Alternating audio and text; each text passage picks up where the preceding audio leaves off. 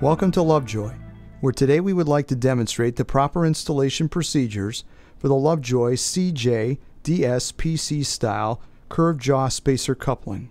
This installation video will show the basic procedures for installing this coupling. Please make sure you have access to the latest copy of the Lovejoy Coupling Installation Guide when performing the installation of this coupling. This document can be found online at Lovejoy's website under Installation Instructions utilizing the Resource tab. Prior to starting this installation, it is always important to ensure the equipment is in a safe and disabled state to prevent any accidental startup. Because of possible danger to the person working on the equipment, you should always consult all applicable federal, state, and local regulations covering the safe operation and maintenance of equipment. This includes, without limitation, the lockout tagout procedure defined by OSHA. The following components are provided with the purchase of your Lovejoy CJ DSPC curved jaw spacer coupling. You should have two standard curved jaw hubs, two jaw rings, two curved jaw spiders, the dropout spacer, and the required hex head bolts. Curved jaw spiders are color coded based on the shore hardness and torque capacity of the material. Always inspect the components to ensure the parts are the proper parts that you ordered. Review your application details to ensure that this is the proper coupling to accommodate your application requirements.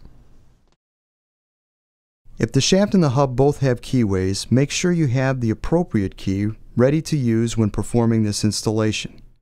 Ideally, the key should be the same length or slightly longer than the hub to transmit the maximum allowable torque. It is always recommended to keep a copy of the specific coupling installation guide readily available when installing your Lovejoy coupling. The installation guide contains charts that show the necessary details including allowable coupling misalignment and torque settings for tightening the set screws and bolts.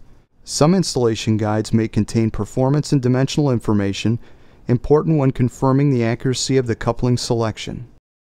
Let's look at the necessary tools we will need to perform this installation. A straight edge, a calibrated torque wrench, Allen socket to fit the set screws, socket for hex head bolts, vernier calipers, a micrometer to confirm the shaft sizes, a gap micrometer, a fine tooth file, a strip of emery paper, non flammable cleaning solvent, a clean cloth, lockout tagout kit, safety glasses, and rubberized gloves. Even though we have disconnected the power to this system, it is always a good idea to check and ensure that the power is off. When you receive the coupling, you should inspect each component to ensure that there are no visible defects, cracks, or damage from shipping. You may want to check the bore size for accuracy prior to continuing with the installation.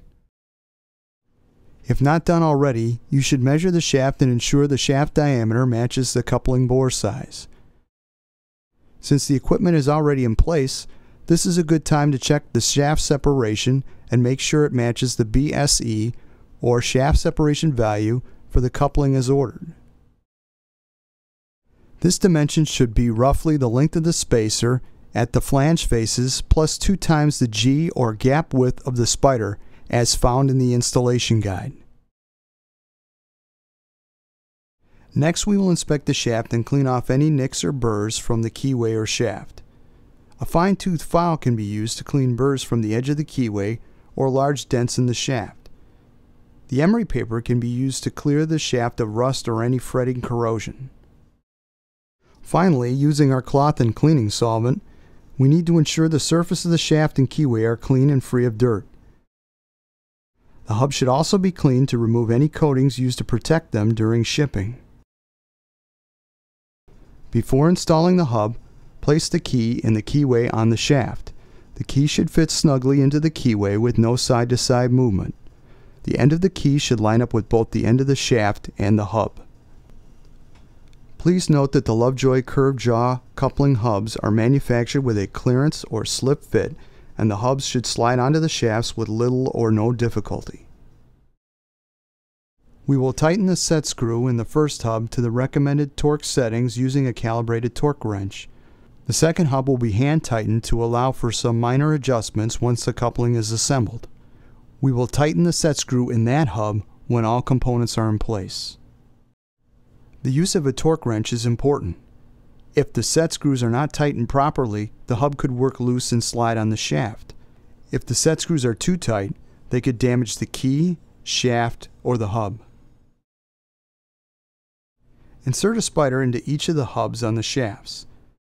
Then place the jaw rings into each of the spiders. The spacer will be piloted to the jaw rings to ensure concentricity, and this pilot may require moving one hub back on the shaft slightly to provide clearance for the spacer. Move the spacer into place between the jaw rings and insert bolts through the spacer, threading the bolts into the jaw rings. The one hub can be moved back against the spacer and the flange bolts should be hand tightened until all the screws are in place. With a calibrated torque wrench, tighten the flange bolts to the torque specified in the following chart. The bolts should be tightened using the industry standard procedure for tightening bolts. Use a crisscross pattern starting at 50% of the specified torque, then 75%, then the full torque. At this time, tighten the set screw in the second hub. Measure the gap between the face of the jaw ring and the spacer on each end of the coupling. Compare this measurement with the G or gap dimension for the spider as found in the installation guide. This gap should match the installation guide to plus or minus 1 32nd of an inch. Depending on the length of the spacer, you may be able to check alignment with a straight edge or dial indicator angular misalignment must not be greater than 1 degree and the parallel offset is dependent on the length of the spacer. You should check alignment before going any further with this installation. When the installation is complete and the equipment is aligned to meet specifications, remove tooling and material away from the shafting and coupling. Double check the tightness of any screws or fasteners with a calibrated torque wrench, then prepare for testing Install the appropriate coupling guard per OSHA requirements and remove the lockout tagout kit from the power supply.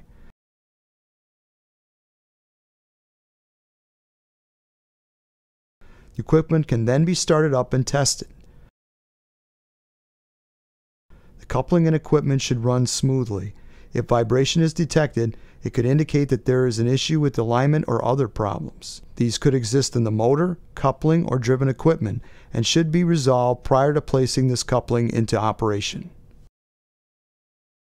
This concludes this particular installation video. We would like to thank you for your interest in Lovejoy Power Transmission products. Please feel free to visit the Lovejoy website for links to other videos and installation guides. You can also contact Lovejoy Customer Service at 630 852 0500. Lovejoy, building trust since 1900.